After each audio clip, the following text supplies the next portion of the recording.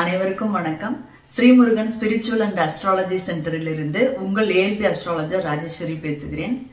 பஞ்சபாண்டவர்களோட ஸ்டோரியை தான் இன்னைக்கு வந்து நம்ம பார்க்க போறோம். ஆஹ் அதுல வந்து பர்டிகுலரா சகாதேவன் ஆஹ் அவரை பத்தின இந்த கதையை வந்து நம்ம இன்னைக்கு தெரிஞ்சுக்க போறோம். ஓகே அவர் வந்து எப்படி இருந்தாரு என்ன ஒரு டேலண்ட்ல இருந்தாரு அப்படின்னு சொல்லி பாத்தீங்கன்னா பஞ்சபாண்டவர்கள் எல்லாருக்குமே வந்து ஆஹ் தனித்தனியா ஒரு ஸ்பெஷல் டேலண்ட் எல்லாருக்குமே வந்து இருந்தது. அதுல வந்து சகாதேவனுக்கு வந்து ஆஹ் ஜோதிடத்துல வந்து மிக பெரிய அபரிமிதமான முக்காலமும் உணரக்கூடிய ஒரு சக்தி வந்து இருந்தது. அந்த சக்தி வந்து அவருக்கு எப்படி கிடைச்சது அப்படின்றத வந்து இன்னைக்கு தெரிஞ்சுக்கலாம் நம்ம. ஓகே பஞ்ச பாண்டவர்கள் யார் யார் அப்படின்றத நம்ம சும்மா ஒரு குழந்தைங்களுக்காக நமக்கெல்லாம் தெரியும். குழந்தைங்களுக்கு வந்து இன்கேஸ் இந்த கதையை வந்து போட்டு காட்டினீங்கன்னா அவங்களுக்கும் வந்து ஒரு இன்ட்ரெஸ்டிங்காக ஆர்வமாக இருக்கும் இல்லைங்களா? ஸோ அதுக்காக வந்து அவங்களுக்காக இந்த பேர் எல்லாத்தையும் சேர்த்து சொல்கிறேன் ஃபர்ஸ்ட் வந்து யார் அப்படின்னு சொல்லி பார்த்தீங்கன்னா தர்மர் அப்புறம் பீமன் அப்புறம் வந்து அர்ஜுனன் அப்புறம் வந்து நகுலன் அப்புறம் வந்து சகாதேவன். சரிங்களா? இவங்க தான் வந்து பஞ்ச பாண்டவர்கள் ஸோ இதில் வந்து ஒரு ஒருத்தருக்கும் ஒரு ஒரு தனி த- திறமையெல்லாம் இருந்தது. அதில் கடைசியாக உள்ள சகாதேவன் இருக்கிறாரு இல்லைங்களா? அவருக்கு வந்து பார்த்தீங்க அப்படின்னு சொன்னால் ஜோதிடத்தில் முக்காலமும் உணர்ந்த முக்காலத்தையும் உணரக்கூடிய ஒரு சக்தி வந்து அவருக்கு வந்து இருந்தது. அது எப்படி வந்தது அப்படின்றது தான் இன்னைக்கு வந்து நம்ம பார்க்க போகிறோம் ஓகே ஸோ பஞ்ச பாண்டவர்களோட தந்தை அவரோட பேர் என்ன அப்படின்னு சொல்லி பார்த்தீங்கன்னா பாண்டு. ஸோ அவருக்கு அந்த தந்தையான பாண்டுவுக்கு வந்து பார்த்தீங்கன்னா முக்காலத்தையும் உணரக்கூடிய சக்தி இருந்தது. அவரோட தவ வலிமையினால அவருக்கு வந்து அது கிடைச்சி கிடைச்சிருந்தது. ஸோ அவர் வந்து இந்த பஞ்ச பாண்டவர்களுக்கு அந் அவருக்கு இருக்கிற அந்த முக்காலத்தையும் உணரக்கூடிய சக்தியை தன்னோட குழந்தைங்களுக்கும் வந்து அவர் வந்து கொடுக்கணும் அப்படின்னு சொல்லிட்டு நினைச்சாரு. அதனால அவர் என்ன பண்ணாரு அதுக்கு அப்படின்னு சொல்லி பார்த்தீங்கன்னா அவரோட கடைசி காலத்துல அவர் வந்து தன்னோட ஐந்து குழந்தைகளையும் கூப்பிட்டு என்ன சொன்னாரு அப்படின்னு சொல்லி பார்த்தீங்கன்னா நான் இறந்த பிறகு இறக்கும் தருவாயில அவர் இந்த தகவலை வந்து சொல்றாரு. நான் இறந்த பிறகு என்னோட உடலை வந்து தகனம் செய்ய வேண்டாம். தகனம் செய்தால் ஆஹ், அந்த உடல் வந்து அப்படியே வீணாகி விடும் அதற்கு பதிலாக நீங்க வந்து என்ன பண்ணணும் அப்படின்னு சொல்லி பார்த்தீங்கன்னா என்னோட உடலை நீங்க வந்து அஞ்சு பேரும் சாப்பிட்டுருங்க அப்படின்னு சொல்லி சொல்றாரு. என்னடா இது? நம்ம தந்தை வந்து ரொம்ப வித்தியாசமா ஏதோ சொல்றாரு அப்படின்னு சொல்லிட்டு எப்படி தந்தையோட உடலை வந்து தந்தை இறந்ததுக்கு அப்புறம் சாப்பிடுறது? ஈம சடங்குகள்லாம் வந்து செய்யணும்ல? எப்படி நம்ம சாப்பிடுறது அப்படின்னு சொல்லிட்டு இவங்கெல்லாம் யோசிச்சாங்க. அவர் வந்து சொன்னாரு எனக்கு வந்து இந்த மாதிரி முக்காலமும் உணரக்கூடிய சக்தி இருக்கு. என்னோட தேகத்தை வந்து நீங்களும் வந்து சாப்பிட்டீங்க. அப்படின்னு சொன்னா நீங்களும் வந்து முக்காலத்தை உணரக்கூடிய தன்மை வந்து உங்களுக்கு கிடைக்கும் அப்படின்னு சொல்லி சொன்னாரு. ஓகே சாப்பிட்டுருங்க அப்படின்னு சொல்லிட்டு கொஞ்ச நாள்ல வந்து பாத்தீங்கன்னா அவர் வந்து இறந்துட்டாரு. கொஞ்ச நாள்ல வந்து அவர் வந்து இறந்துட்டாரு. உடனே வந்து சரி ஓகே அப்படின்னு சொல்லிட்டு இவங்க எல்லாருமே வந்து தந்தை கிட்ட கொடுத்த வாக்கு இல்லைங்களா? சரி ஓகே அப்படின்னு சொல்லிட்டு இவங்க எல்லாரும் வந்து ஆஹ், காடுல தான் இருந்தாங்க. பாண்டவர்கள் வந்து அப்போ வந்து காட்டுல தான் இருந்தாங்க.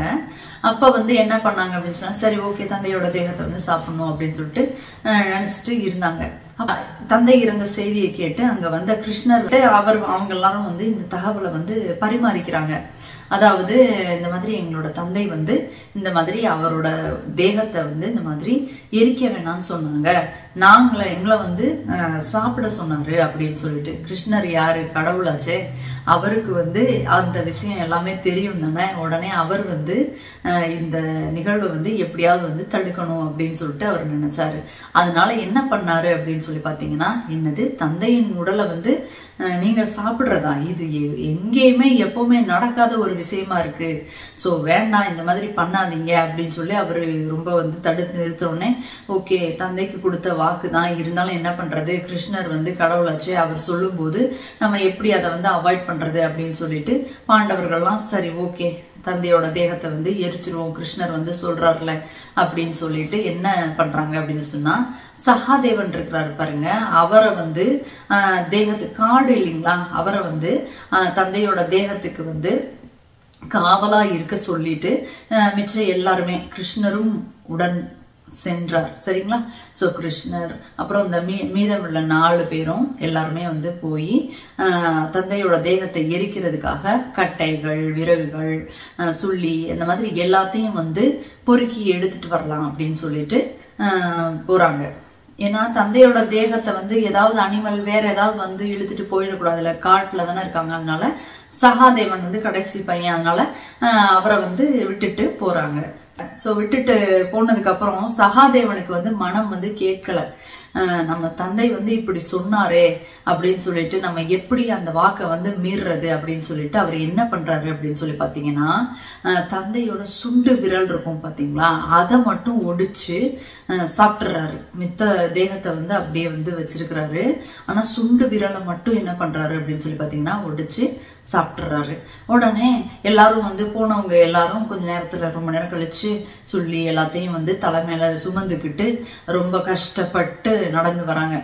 ரொம்ப தூரம் போய் அலைஞ்சு திரிஞ்சு காட்டுக்குள்ள வந்து எல்லாம் கண்டுபிடிச்சு அதை அலைஞ்சு திரிஞ்சு கொண்டு வர்றாங்க.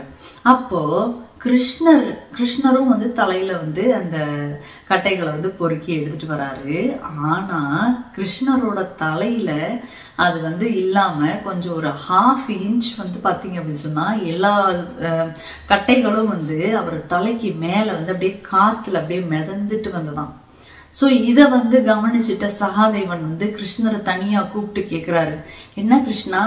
உம், உன்னோட கட்டைகள்லாம் வந்து இப்படி காத்துல மேந்துட்டு வருது. வந் அஹ், அப்படி வந்த உடனே எல்லாரும் என்ன சொல்றாங்க? அப்பா ரொம்ப டயர்டா இருக்கு அப்படி இப்படின்னு சொல்லிட்டு ரொம்ப அப்படியே வந்து பேசிக்கிறாங்க. கிருஷ்ணரும் சேர்ந்தே வந்து பேசினாரு. ஆனா சகாதேவன் வந்து இதை கவனிச்சிட்டார் இல்லைங்களா? அவர் வந்து கிருஷ்ணரை தனியா கூப்பிட்டு வச்சு என்ன கிருஷ்ணா உன்னோட கட்டைகள் மட்டும் தனியா காத்துல மிதந்து வருது. ஆனா நீ வந்து எல்லார மாதிரியும் வந்து டயர்டா இருக்கிற மாதிரி சொல்லிக்கிற அப்படின்னு சொல்லி அவர் கேட்குறாரு உடனே கிருஷ்ணருக்கு வந்து ஒரு சந்தேகம் வந்தது. ஓ இப்படிப்பட்ட உண்மை வந்து உனக்கு எப்படி தெரிஞ்சிச்சு? வேற யாருமே கவனிக்க முடியல. ஆனா உனக்கு மட்டும் இது வந்து தெரியுது. அப்படின்னு சொன்னா நீ என்ன பண்ண அதுக்கு? அப்படின்னு சொல்லிட்டு அவர் கேக்குறாரு.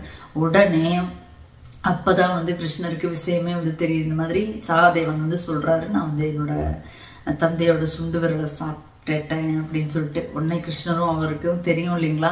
உடனே வந்து என்ன பண்றாரு? சரி ஓகே. நீ வந்து இதை வந்து யாருக்கும் வந்து சொல்லக்கூடாது அப்படின்னு சொல்லிட்டு சத்தியம் வாங்கிக்கிறாரு சரிங்களா? அதுல இருந்து சகாதேவனுக்கு வந்து எப்படி என்ன கிடைச்சது அப்படின்னு சொல்லி பாத்தீங்கன்னா முக்காலத்தை உணரக்கூடிய ஜோதிட வல்லமை வந்து அவருக்கு வந்து கிடைத்தது. தனது தந்தையின் சுண்டு விரலை சாப்பிட்டதன் மூலமாக அவருக்கு இப்படி ஒரு சக்தி வந்து கிடைத்தது.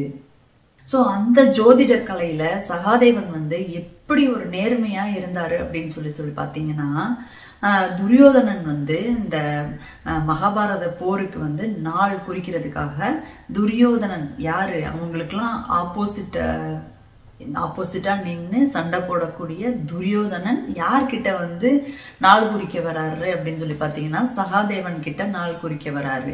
ஸோ அதுக்கும் வந்து சகாதேவன் வந்து கரெக்டான நாளை வந்து க கரெக்டா வந்து குறிச்சு அஹ், துரியோதனனுக்கு கொடுக்குறாரு இந்த சோ அந்த அளவுக்கு வந்து சகாதேவன் வந்து அந்த ஜோதிட கலையில வல்லுனரா இருந்தாரு மற்றும் நேர்மையா வந்து இருந்தாரு. சரிங்களா? ஓகே இப்பதான் வந்து நம்ம கதையில ஒரு ட்விஸ்ட் சரி.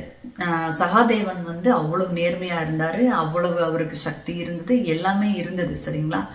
ஆனா அவருக்கு வந்து இந்த ஜோதிட கலையை விட்டுட்டு போற அளவுக்கு ஒரு விரக்தியான ஒரு சூழ்நிலை வந்து வந்தது அது என்ன அப்படின்னு சொல்லிட்டு பார்த்தோம்னா பின்னாளில் வந்து கர்ணன் இருக்காரு இல்லையா? கர்ணன் வந்து தன்னோட அவர் தன்னோட அண்ணன்.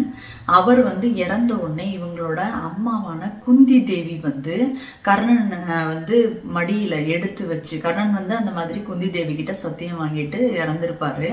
ஸோ குந்தி தேவி வந்து என்ன பண்ணுவாங்க அப்படின்னு சொல்லி பார்த்தீங்கன்னா கர்ணனை வந்து தன்னோட மடியில வச்சு மகனே உன்னைய வந்து நான் இப்படி விட்டுட்டேனே.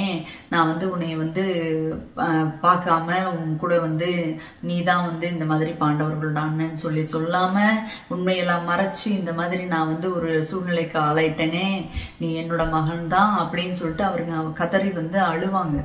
ஆனா அந்த அந்த காட்சியை பார்த்த சகாதேவனுக்கு வந்து எப்படி இருக்கும் அப்படின்னு சொல்லி பார்த்தீங்கன்னா என்ன இது? நம்ம வந்து எவ்வளவு முக்காலமும் உணர்ந்து ஜோதிடத்துல அவ்வளவு வல்லுநராக இருக்கும். ஆனா நமக்கு வந்து இந்த மாதிரி கர்ணன் வந்து நம்மளோட அண்ணன் அப்படின்னு சொல்ற விஷயம் வந்து தெரியாம போச்சே அப்படின்னு சொல்லிட்டு சகாதேவனுக்கு வந்து ரொம்ப ரொம்ப வருத்தமா இருந்தது.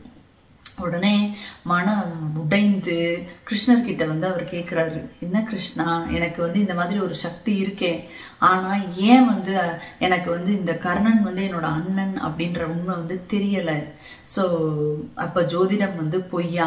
அப்படின்ற அளவுக்கு வந்து அவர் இனிமே வந்து நான் இந்த இதை வந்து பார்க்காம பார்க்காம இருந்துறவா? அப்படின்னு சொல்லிட்டு அவர் ரொம்ப மனம் முடிஞ்சு கேட்குறாரு உடனே கிருஷ்ணர் வந்து சொல்கிறாரு என்னதான் முக்காலத்தை வந்து உணரக்கூடிய சக்தி இருந்தாலும் தொண்ணூற்றி ஒன்பது சதவீதம் மட்டுமே வந்து இறைவன் வந்து நம்மளோட கையில் வந்து கொடுப்பாரு. அந்த ஒரு சதவீதத்தை இறைவன் வந்து அவர் தன்னுடைய கையில் தான் வச்சிருப்பாரு. ஸோ அதுதான் கடவுளுக்கும் நமக்கும் உள்ள வித்தியாசம். ஸோ பாத்தீங்களா? கடவுள் வந்து எவ்வளவு அழகா வந்து அந்த ஒரு பர்சன்ட்ல வந்து எவ்வளோ பெரிய உண்மை. அவர் தன்னோட அண்ணன் அப்படின்ற விஷயம் வந்து தெரிஞ்சிருந்தது அப்படின்னு சொன்னா மகாபாரத கதையே வந்து எவ்வளவோ மாறி இருக்கும் இல்லைங்களா? ஸோ அந்த ஒரு உண்மை எங்கே வந்து செக் வைக்கணும் அப்படின்றது வந்து இறைவனுக்கு வந்து கரெக்டாக வந்து தெரியும். ஸோ அதுக்கேற்ற மாதிரி அந்த இடத்துல வந்து அதை மட்டும் அவருக்கு தெரியாமல் வச்சிருந்து அந்த பாரத போரையே வந்து நடத்த வச்சிருக்கிறாரு. ஸோ இதுதான் சகாதேவன் வந்து எப்படி வந்து அவருக்கு வந்து இந்த அற்புத சக்தி வந்து கிடைச்சது அது வந்து அவர் எப்படி இருந்தார் அப்படின்றத எல்லாத்தையும் வந்து இன்னைக்கு வந்து நம்ம தெரிஞ்சுக்கிட்டோம். மீண்டும் இன்னொரு அருமையான பதிவில் உங்களை சந்திக்கிறேன். நன்றி வணக்கம் வாழ்க வளமுடன்.